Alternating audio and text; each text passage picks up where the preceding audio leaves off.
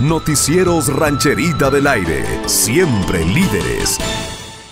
Siguen estables los índices de contagio por COVID-19 en Piedras Negras. Se brindan entre 5 y 7 consultas diarias por esta enfermedad en el Hospital General de la Secretaría de Salud y la positividad es del 20%. No hay internados en el nosocomio y solo hay 3 en el IMSS. Así lo dijo el jefe de la Jurisdicción Sanitaria 1, Iván Alejandro Moscoso González.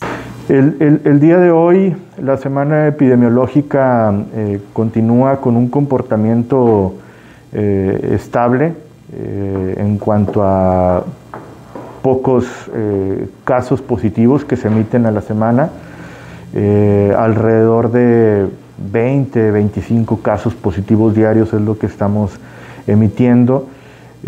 así, de igual forma, las solicitudes para realizarse una prueba han disminuido importantemente.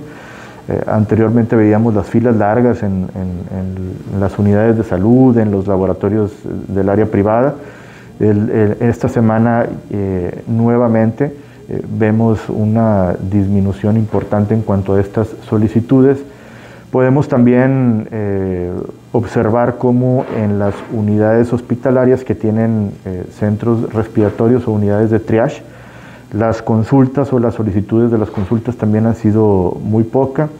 Entre 5 y 7 consultas diarias son las que las personas solicitan y la positividad pues en una disminución importante, alrededor del 20% de positividad es lo que tenemos eh, en nosotros eh, actualmente en, la localidad.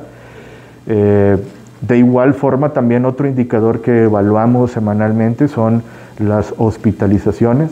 Es un indicador, como ustedes lo recordarán, que también nos sirve para estadificar o semaforizar el riesgo epidemiológico.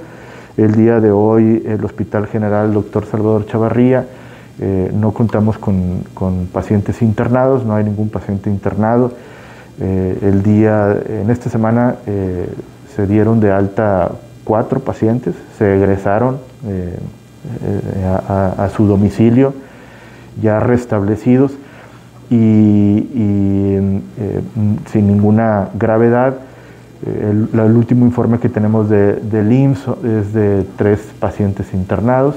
Entonces, en general, eh, la situación epidemiológica está ya muy, muy estable, podemos mencionarlo así.